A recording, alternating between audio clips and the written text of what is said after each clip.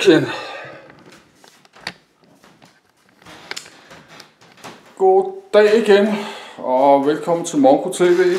Jeg er John Olsen. Jeg har lige optaget en video, hvor jeg ikke kan finde ud af støv og skifte pose på min støvsuger. Det kunne jeg faktisk ikke, men jeg har fundet ud af, hvordan man gør nu. Øh, jeg har skiftet posen. Ja, men det er simpelthen klart, at hvis man kigger her, det er klart, der sidder sådan en øh, der til slangen her, den her. Det er klart, der er sådan en hul i støvsugerpose. Klart, jeg kan ikke trække den op, når, hvis det, jeg skal presse den ud først. Ud, og så skal man hive op. Det er klart, der er sådan en hul i, den går ind i, så klart, der kan ikke komme over det hul. Så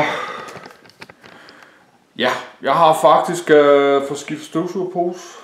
Men uh, det var ikke meningen. Men jeg kan selvfølgelig også lige teste. Vi kan lige støvsuge to minutter. Uh, videoen. Jeg kan ikke bare lave en video på et minut. Ja, jeg har ikke sådan tænkt mig, men jeg godt lige støvsuge bare lige to minutter uh, på min video.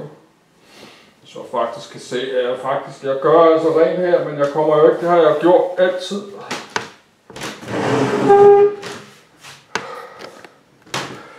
Ja, vi kan stille øh, kameraet som det her. Hvor det selvfølgelig står i regnen lidt. Jeg skal selvfølgelig, men øh, jeg har selvfølgelig altid støvet. Den her støvsuger købte jeg i øh, oktober købte jeg på Bandit også. Sådan noget øh, Så den er altså under et år gammel, og jeg har ikke brugt. Ikke brugt så meget.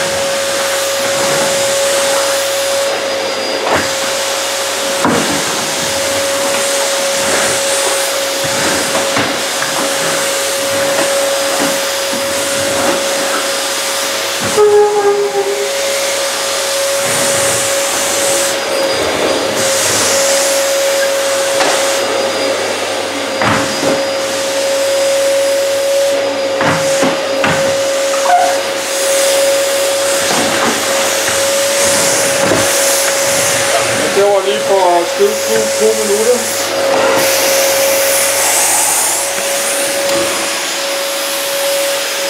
Jeg vil lige støvsuge øh, et halvt minut herinde.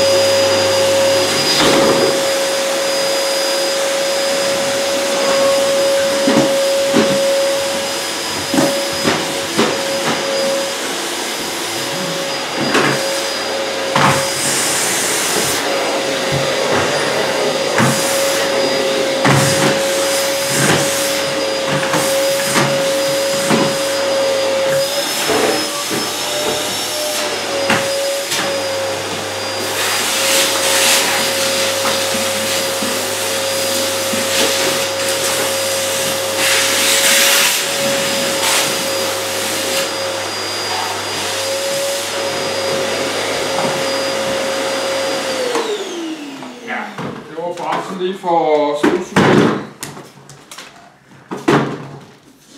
Ja, jeg har lige skulle rulle ledningen op her.